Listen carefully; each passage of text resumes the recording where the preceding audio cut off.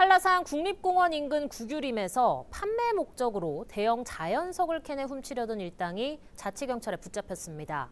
이들은 범행을 들키지 않기 위해 숲길을 이용하고 밤 시간대 범행을 저지르는 치밀함을 보였는데요. 날이 밝아오자 운반 과정에서 탐방로에 떨어진 자연석을 미처 차량에 싣지 못하고 도주하면서 결국 덜미를 잡혔습니다. 김경임 기자의 보도입니다. 한라산 둘레길 인근 계곡. 바위 사이에 커다란 구멍이 움푹 패여 있습니다. 누군가 이곳에 있던 자연석을 캐낸 겁니다. 한라산 국립공원 인근 구규림에서 대형 자연석을 훔치려던 일당이 자치경찰에 붙잡혔습니다.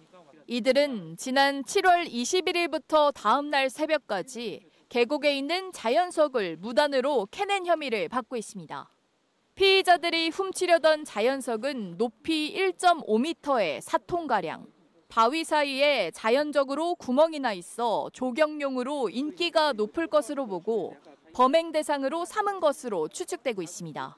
경찰 조사 결과 주범 A씨는 미리 주변 나무와 풀을 잘라내 차량 진입로를 확보한 뒤 지인인 B씨를 불러냈고 로프 등 특수 장비를 이용해 함께 자연석을 캐냈습니다. 피의자들은 주위 나무에 도르래 등 장비를 설치해 자연석을 끌어올렸는데요. 보시는 것처럼 나무 곳곳에는 그 흔적들이 그대로 남아 있습니다. 특히 이들은 CCTV가 없는 숲길을 이용하고 인적이 드문 밤 시간대 범행을 저질렀습니다. 하지만 자연석을 차량에 싣고 옮기는 과정에서 현장에서 150m가량 떨어진 탐방로에 떨어뜨렸고 다시 차에 실으려던 사이 날이 밝아오자 그대로 도주했습니다. 이후 등산객이 탐방로에 있는 자연석을 발견해 신고하면서 경찰이 추적에 나섰고 차량 분석 등을 통해 특정된 주범 A씨의 차량에서 범행에 사용한 장비들을 확인해 A씨와 공범 등 두 명을 검거했습니다. 범행 장소가 그 산속 깊은 산속이라서 이게 CCTV라든지 목격자가 전혀 없었습니다. 범행로, 범행로에 진입하는 모든 도로의 CCTV와 그 다음에 기지국, 통신기지국 내역을 확인해서 저희가 피의자를 검거할 수 있었습니다. 경찰 조사에서 주범 A씨는 절취한 자연석을 되팔기 위해 범행을 저질렀다고 진술한 것으로 알려졌습니다.